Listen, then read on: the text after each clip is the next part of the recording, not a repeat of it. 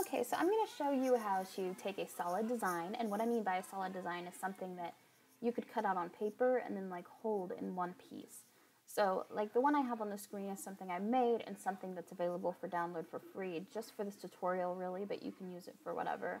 Um, and it is one solid design. There's no extra pieces just kind of hanging off because that won't work for this. So what you want is to take your design and then you need a square the size of the design or the size of the card that you want with the width doubled. So for this I'm going to do like a 5 by 7 card. So I did a 10 by 7 square and I will show you that how it's 10 by 7. And then the next thing to do just to make your life easier is you're going to put a score line in here right across the middle and you're going to do that by just clicking insert shapes. By the way, if you don't know how to get square, you just click insert shapes and this you just upload. So we're going to click on score line and I want the score line right here at 5. Well, maybe. There we go.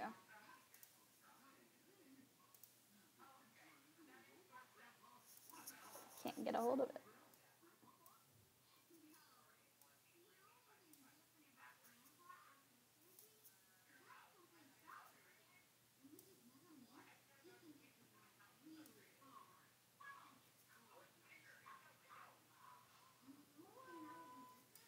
Okay, I have it at 5.01. I apologize for making you wait through this, but it's important. You need to have it split in half or your next thing will be a little off center.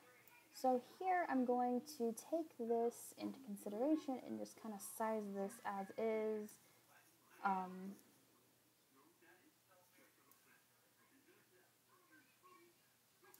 I have this on not locked proportions just because I want to be able to play with it just a little bit.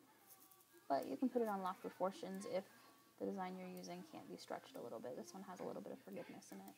All right, and then you want to place this here and make sure it is centered to your eye. So you're the one that's going to be working with it. That's all that really matters is if you look at it and like it. And then you're going to insert another shape. Um, easiest thing I found to do this is just to look at what yours is at. Mine's at 4.42, 6.28. And I'm just going to put that on the exact same thing. 4.42, what did I say, 6.28? 6.28. And that should give me, let's just double check. Yeah. These two things are the same size. And then I can lock the proportions on this and just kind of I don't know what happened. My mouse glitched out. Okay. Just kind of move it in just a little bit so that we can catch the sides. And then I'm going to aim this over. And one thing I want to watch right here is this B because I don't want it to be like left out. Okay.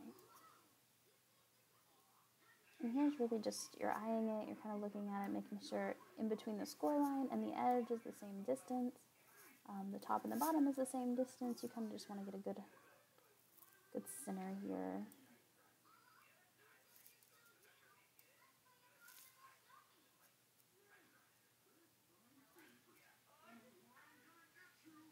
Okay. To me, that looks pretty good. Plus, I'm not actually making those cards, so I'm not going to be super picky with it and waste your guys' time. And now what I did is I clicked on this little square and then I clicked on the big square and I held shift while I did it so it selected both of them. Then I'm going to go to layers and slice. Now this won't slice into your design, it'll just slice out of this paper, which is what you want. I'm going to click on the first one and delete it, click on the second one and delete it. And this is really what we wanted. We wanted this overlap just to where it hits the sides. I'm probably going to play with this just a little bit. And I'm going to click on this again and move it to the back. Keep going. Alright. And the primary concern here is that my B is just a little bit outside of my design, so, or inside my design, I should say. I'm gonna do a little bit of placement here and play. I'm using a design that can be manipulated a little bit. I think I already said that, but hold on to this, and then I'm going to push shift and click this one, and I'm going to push, no, that was wrong. I was supposed to push weld.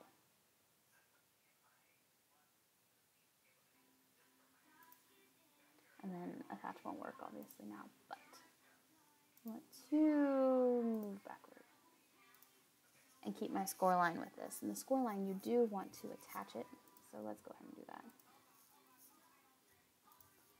And that will just make sure that it, when you do do your card, it'll do it on the right spot. However, when you do a card, you want the score line in the inside, but you might just do the score line on the outside and then use that as a guide to flip it the other way. But there it is. Um, pretty simple. Oh my.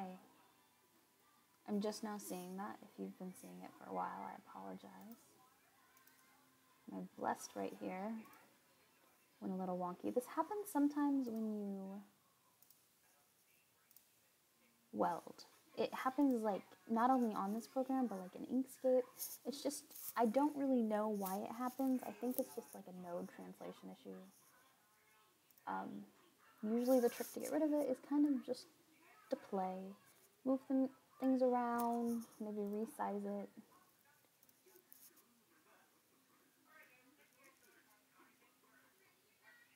No, it's still happening. Okay. Undo again. I'm gonna take both of these. Actually. Rude. Okay. I want to take this, and this, and this. Now I want to move it.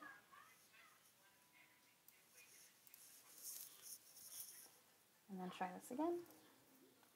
This is just one of those things I I don't know what the fix would even be. Like and I write programs. If you've followed me for a while, you know sometimes I use the program that I wrote to make these and sometimes I just use Illustrator and then like for this I used Inkscape. But it's just one of those things that happens. I'm not sure why, if there's even a rhyme or a reason for it. But the trick seems to be just playing, giving everything a little scoot and a move around. Okay, this is really close, let's try this. See if it'll weld it now. Oh, there we go. Let me double check, make sure there's no black spaces. Okay, it looks like it got the outside, and that is a little less welded than I liked it to be. I really wanted this V down here to be flush, but it does still look pretty good, and I'm going to move this to the back so that we can still see our score line, and that's how you create a card with just a one-piece design, and you can put whatever you want in there. Your card doesn't have to be that size if you want it just to go over the design and kind of just be double that. Um, you can pretty much do anything you want with this just try to make like a solid block of something and you can turn it into a card. And that is all. I just wanted to show you guys this quick trip quick tip. And i hope you have a wonderful sunday